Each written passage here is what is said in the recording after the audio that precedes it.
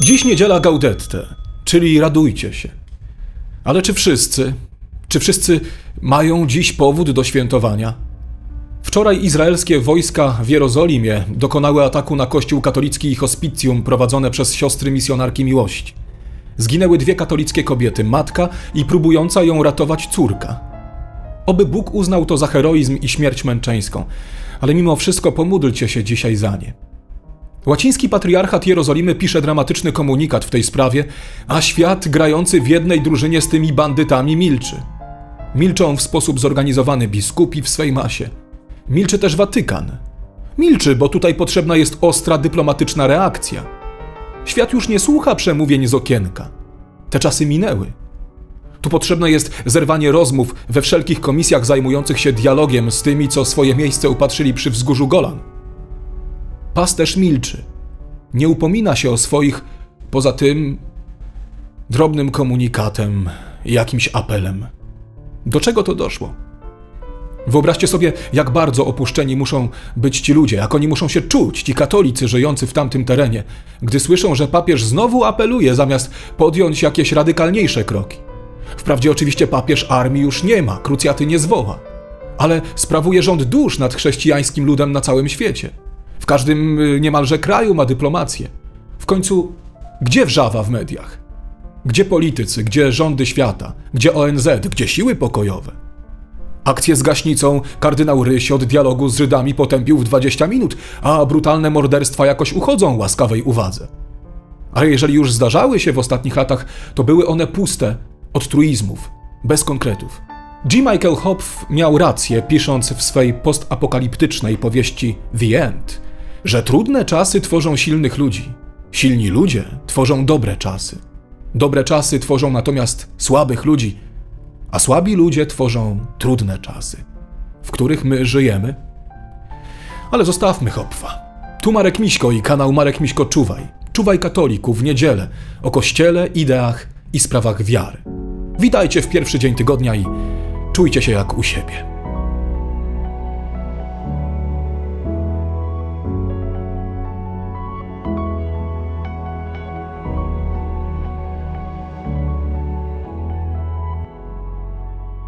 Wczorajsza audycja pobiła nasze kanałowe rekordy popularności. Zobaczcie, udało się dotrzeć z jej treścią do grona odbiorców większego o blisko 13 tysięcy widzów.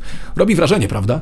Dzięki niej przybyło też 300 nowych subskrybentów, których najserdeczniej witam na pokładzie naszego wesołego, racjonalnego statku ludzi myślących. Pamiętajcie, że projekt Marek Miśko-Czuwaj jest naszym wspólnym dziełem, bo nie mógłby on istnieć bez widzów oraz mecenasów, którzy wspierają nas poprzez stawianie kawy na serwisie Buy Coffee, y, zrzutce PayPalu i każdym innym sposobie yy, wsparcia. Serdecznie Wam za to dziękuję. Jeżeli ktoś z Państwa chce dołączyć do szacownego grona mecenasów naszego projektu, informacje na temat tego, jak to zrobić, znajdziecie w opisie tego filmu i w pierwszym komentarzu. Zaczynamy.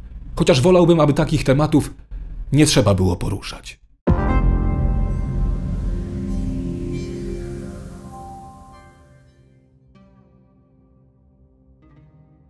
Jerozolima 16 grudnia 2023 roku.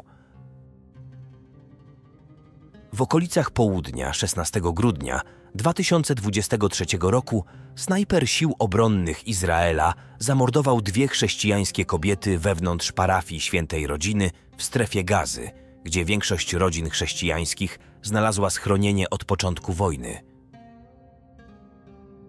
Nahida i jej córka Samar zostały zastrzelone, gdy szły do klasztoru sióstr.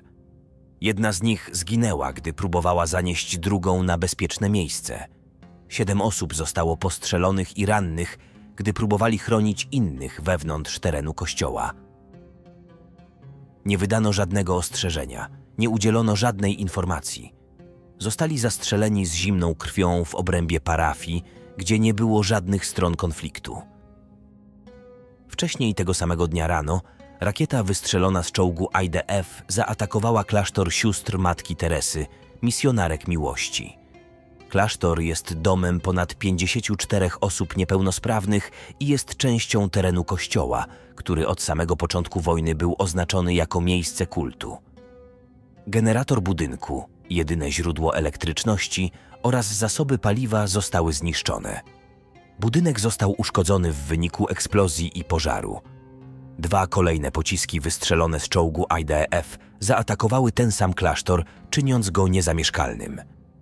54 osoby niepełnosprawne zostały przesiedlone i pozbawione dostępu do respiratorów, których niektóre z nich potrzebują do przeżycia.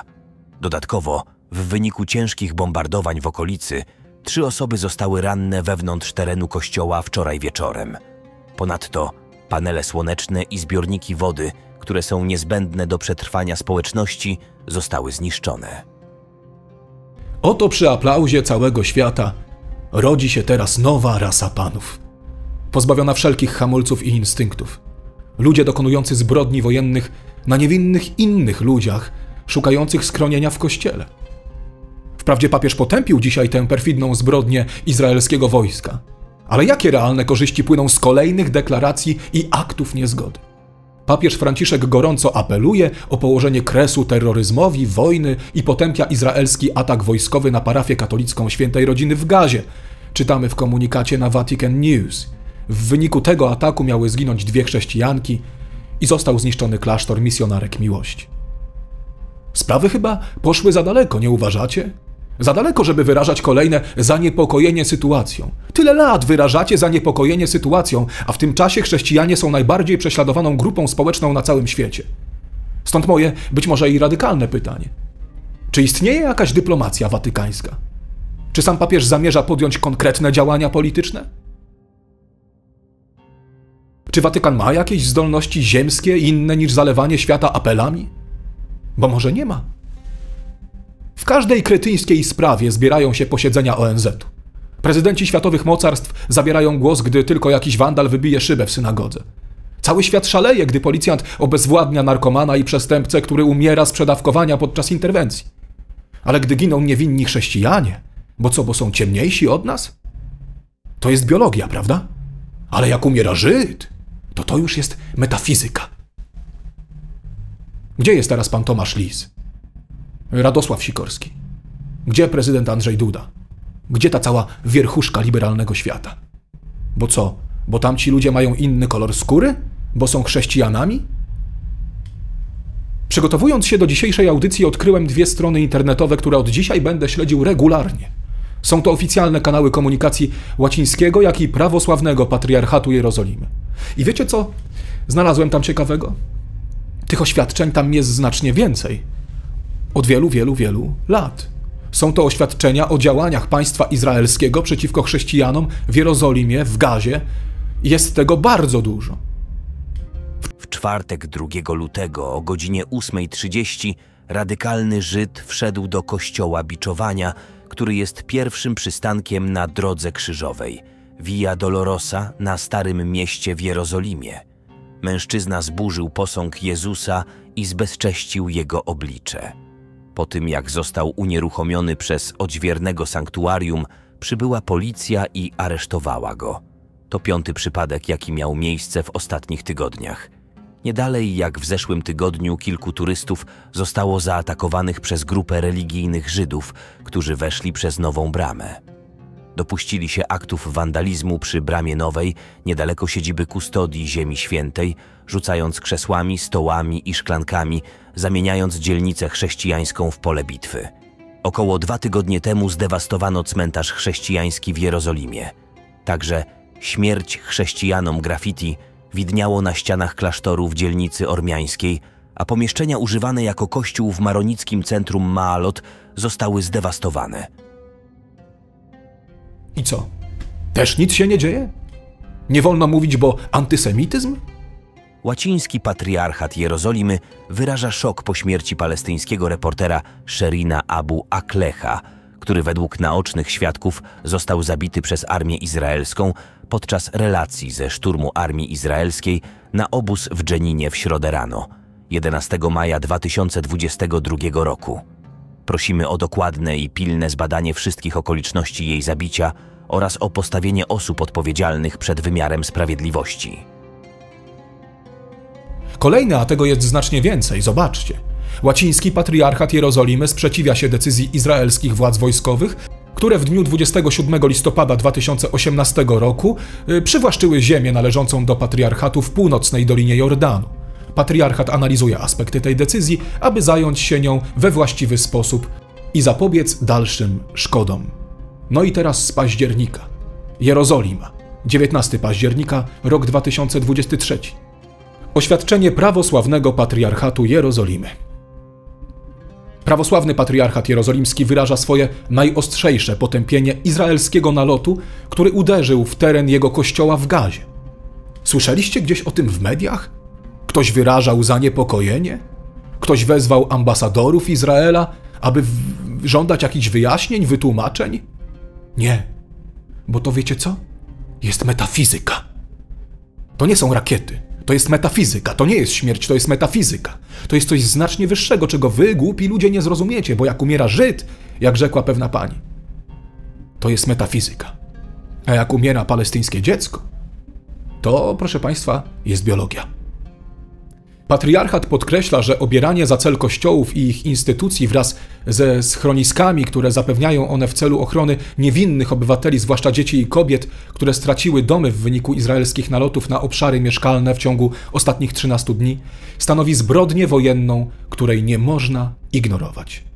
Pomimo oczywistego obrania za cel obiektów i schronień prawosławnego patriarchatu Jerozolimy i innych kościołów, w tym szpitala, Kościoła Episkopalnego w Jerozolimie i innych szkół i instytucji społecznych, patriarchat wraz z innymi kościołami nadal angażuje się w wypełnianie swoich celów religijnych i ma moralny obowiązek zapewnienia pomocy, wsparcia i schronienia potrzebującym, pomimo ciągłych izraelskich żądań ewakuacji cywilów z tych instytucji i nacisków wywieranych w tym względzie na kościoły. Patriarchat podkreśla, że nie zrezygnuje ze swojego religijnego i humanitarnego obowiązku zakorzenionego w wartościach chrześcijańskich, aby zapewnić wszystko, co niezbędne zarówno w czasie wojny, jak i pokoju. I co? Nadal nic się nie dzieje? Powtórzę jeszcze raz. Słyszeliście gdzieś o tym w mediach? Darły szaty w Polsce osoby takie jak prezydent Duda? Premier coś mówił? Marszałek Hołownia coś mówił? Czy bredzili o braterstwie polsko-izraelskim? Zawsze wydawało mi się, że tam, gdzie milczy świat, krzyczeć musi Kościół. Wierni potrzebują dzisiaj jakiegoś schronienia. W Polsce u polityków go nie znajdziemy. A czy znajdziemy go w Kościele? My potrzebujemy dzisiaj jasnych znaków, znaków, które ugruntują naszą ziemską wspólnotę, bo Kościół, Eklezja Katolika, czyli Kościół powszechny, dotyczy nas wszystkich, nie tylko tutaj, w jednej miejscowości, w województwie, diecezji czy w kraju – Kościół powszechny to my wszyscy, na całym świecie. Ci, którzy żyjemy, ci, którzy cierpimy i ci, którzy już jesteśmy w chwale w niebie. Żyjemy na trzech płaszczyznach. Nie możemy ograniczać się do tego czy innego miasta, do probostwa, do wioski, do diecezji. Jesteśmy wszędzie, tam też są nasi bracia i siostry w Chrystusie. Więc potrzebujemy tych znaków. Nie chcemy już więcej apeli i kolorowych kredek. Profesor Bogusław Wolniewicz, świeć panie nad jego duszą, którego myśl ogromnie szanuje, nie miał racji sądząc, że Izrael jest najdalej na wschód wysuniętą forpocztą zachodniej cywilizacji, która broni nas przed muzułmańskim zalewem. Nie, panie profesorze, to był błąd. Izrael to nie jest nasza cywilizacja i pokazują to na każdym kroku, każdego tygodnia. Mówią o tym oświadczenia, które przed chwilą przeczytałem. Przecież nie moje, ale biskupów z tamtego regionu, patriarchów.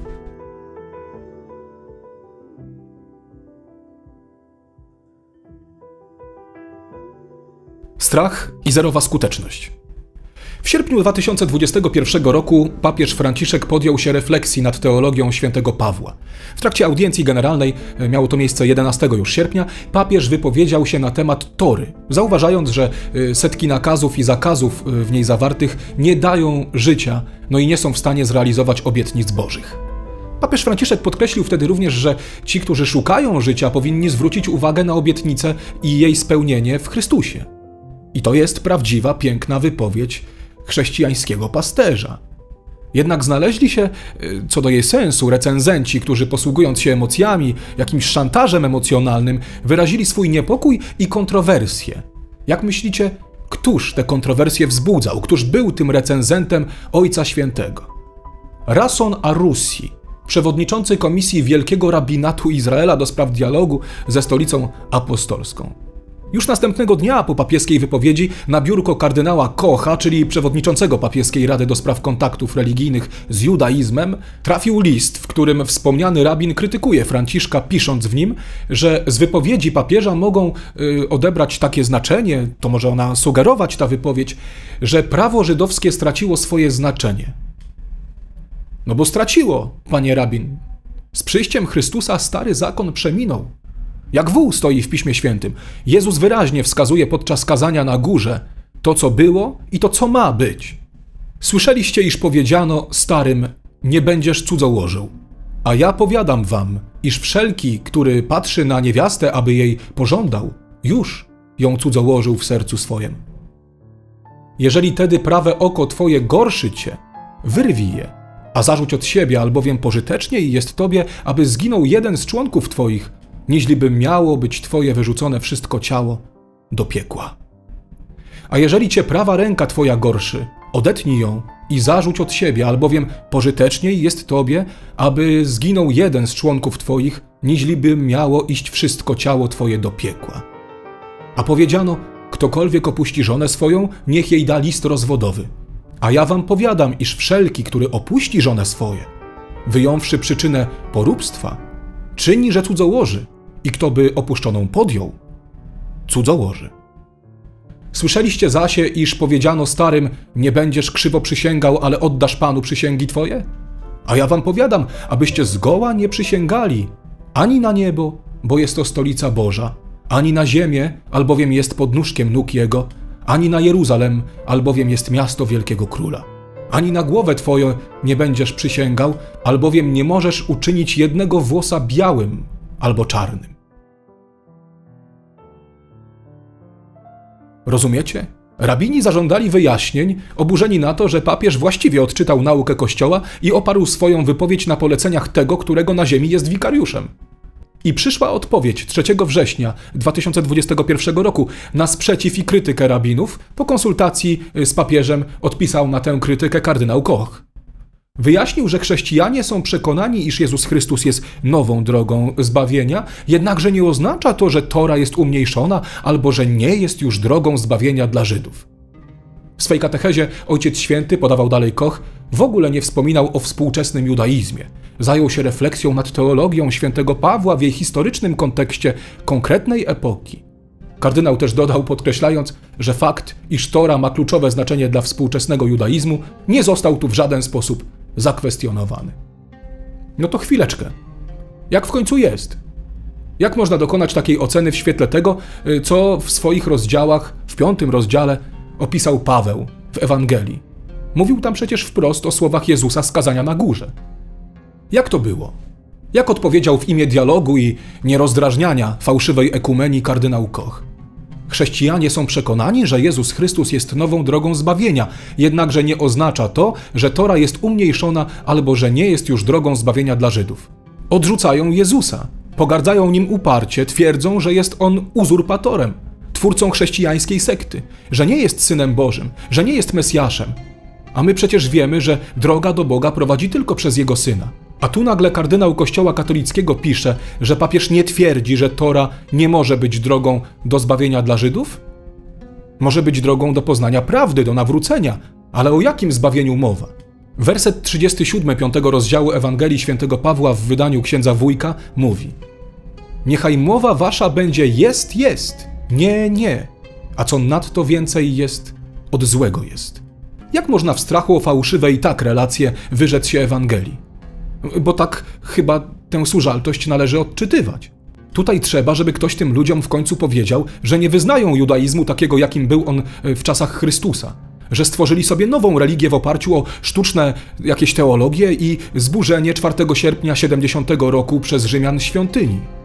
To nie judaizm, ale talmudyzm, Ci, którzy dzisiaj mówią, że są Żydami, y, którzy wyznają judaizm, nie mają nic wspólnego z judaizmem, który wyznawał jeszcze wcześniej święty Paweł, święty Piotr i nawet sam Jezus Chrystus, chodząc do świątyni składając ofiary.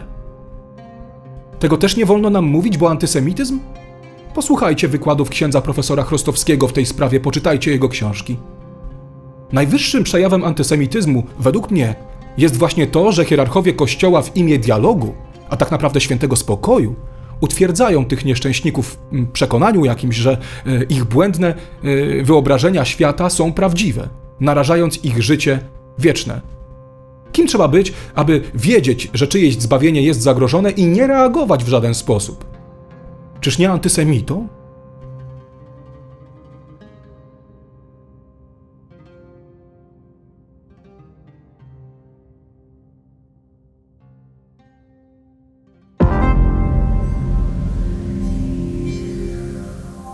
Dziękuję Państwu za pełne zaangażowanie w nasz wspólny projekt, bo przypominam, że kanał Marek Miśko-Czuwaj to nasze wspólne dzieło. Ja tutaj tylko gadam, a zespół kręci, montuje i żeby to wszystko znalazło się w internecie. To dzięki Wam jestem w stanie przygotowywać pomimo obowiązków zawodowych i obowiązków wynikających z dosyć sporej rodziny. Bez Waszego wsparcia i bez Waszego mecenatu te programy by po prostu nie mogły tak często powstawać. Jeżeli ktoś z Państwa jest jeszcze zainteresowany, aby dołączyć do tego zaszczytnego grona mecenasów, wszystkie informacje na ten temat, do czego zachęcam, znajdziecie w komentarzu poniżej oraz w opisie tego filmu. Dziękuję. Wszystkim Państwu kłaniam się w pas. A na odchodne w niedzielę. Jak wiele bólu i cierpienia i strachu doświadczają każdego dnia nasi bracia i siostry, gdy idą na msze, wiedząc, że mogą zginąć gdy szukają schronienia w świątyniach swego Boga, które, jak się okazuje, również nie zawsze są bezpieczne.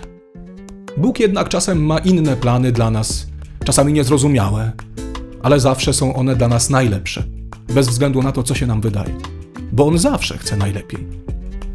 Czy cieszyłem się, gdy przez gorące prośby i modlitwy setek ludzi, których poprosiłem o to, blisko trzy lata temu Bóg uchronił moją córeczkę i żonę od śmierci? Tak i byłem wdzięczny. A czy umiałbym zareagować podobnie, gdyby wtedy w swej łaskawości Bóg uznałby inaczej? Czy miałbym na tyle wiary? I teraz ta odwaga. Odwaga katolików na wschodzie, ale nie tylko na wschodzie, również w Afryce. Gdy idą, a mogą nie wrócić. Ich postawa w zestawieniu z nami.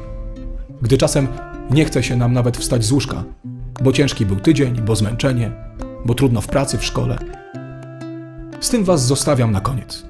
Bóg z Wami. Dobrego tygodnia. Dziękuję za Wasz czas. Jest on dla mnie najcenniejszy.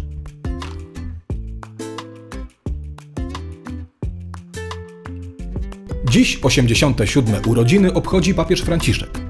Myślę, że to, czego należałoby życzyć biskupowi Rzymu, można określić jednym wyrazem. I robię to z czystego serca. Ojcze Święty, życzę zbawienia